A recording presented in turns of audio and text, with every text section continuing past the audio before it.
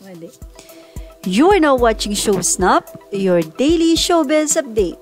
Muli na naman ngang pinakilig nila Bea Alonso at Dominic Roque ang mga fans. Ito'y matapos ngang mag-post itong si Dominic Roque ng napaka-sweet na message for Bea.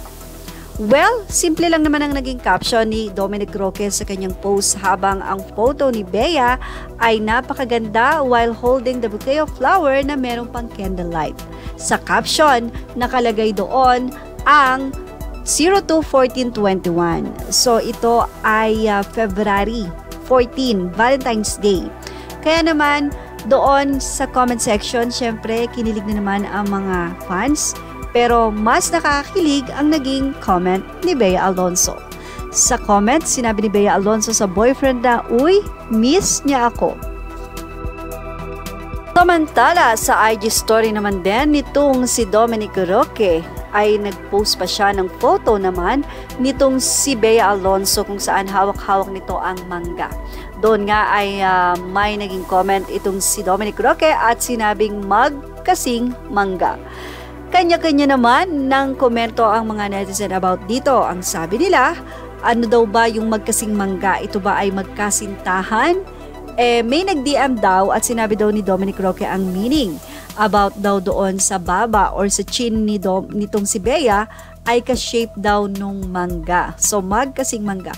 Pero may nagsabi naman na baka kasi talagang magkasintahan dahil hawak ni tong si Bea Alonso ang nasabing mangga kaya ginawang magkasing mangga. Anyway, nakakatuwa dahil bawat photos or ano pa mang kilos ni Bea Alonso, eh talaga namang nandyan si Dominic Roque at captured lahat ng moment na ito. Samantala, atin naman ang stock ang naging IG story ni Papa Doms at narito po. Sobrang busy ng shooting ng uh, kanyang nga pong Lawa episode. At ang IG story niya about sa kanyang Han na si Bea Alonso, doon makikita nga rin at ibinahagi ni Dominic Roque ang uh, pagdadrive. Yun nga, shoot day, kung saan pupunta siya sa location.